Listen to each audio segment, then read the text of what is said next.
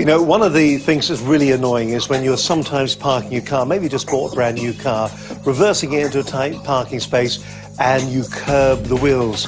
Now, something like 50% of all the cars that sold these days now come with the really expensive alloy wheels on them. And there's nothing more frustrating than curbing those brand new wheels when you're parking it.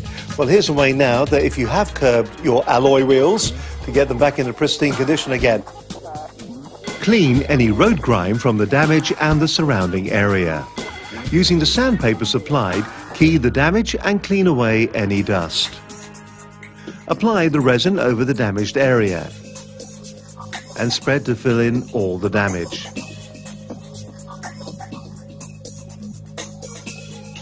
Spraying the hardener will cure the resin in just a few seconds. Sand the hardened resin to a smooth finish and then key the surrounding area for spraying. Clean the area using a cleaning wipe and use supplied spray to complete the repair process. It's as easy as that.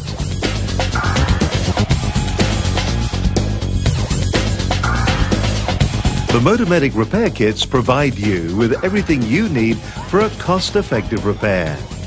Get more out of your car and keep it looking great with Motomedic. Well, let me just hold that up. It's still drying a little bit, but you can see, remember, we started off with the, the gouges in the alloy wheel rim.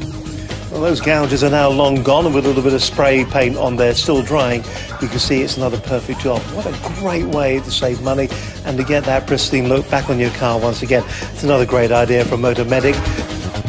Get more out of your car and keep it looking great with Motomedic. We hope you enjoyed seeing that. Look forward to hearing from you soon.